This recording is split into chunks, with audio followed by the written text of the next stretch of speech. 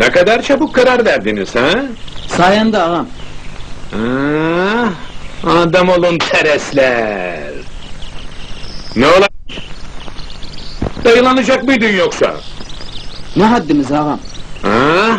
Aferin. Aferin köpek. Yo yo olmadı. Gene gücendin. Hiç gelmem böyle numaralara. Böcek gibi ezdiririm adamı. Bak. Bu köpekçik yok mu köpekçik?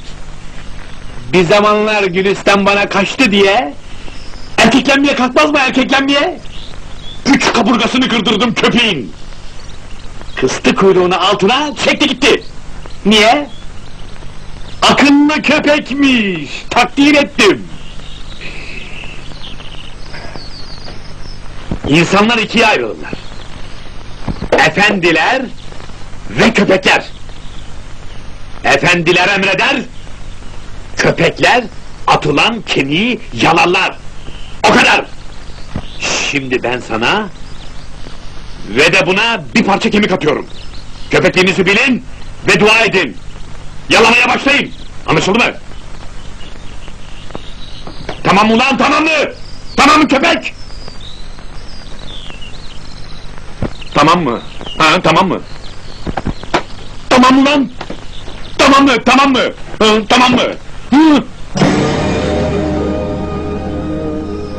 Tamam ağam. Adam olacaksın sen. İyi bir köpek olacaksın. Söyle bakayım. Ben Mithat Ağam'a iyi bir köpek olacağım de. Ben, Evet.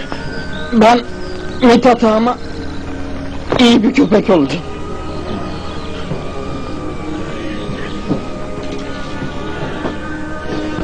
Söyle. Sen de söyle. Söyle bakayım. Ben Mithat Ağam'a iyi bir köpek olacağım de. Ben Mithat ağama iyi bir köpek olacağım. Güzel. Ne kadardı istediğin? 300 bin. Ne yapacaksın lan? Bir ocak var. Almanya'dan getirmişler. Sahibi orada. Yarı fiyatına veriyorlar ağam.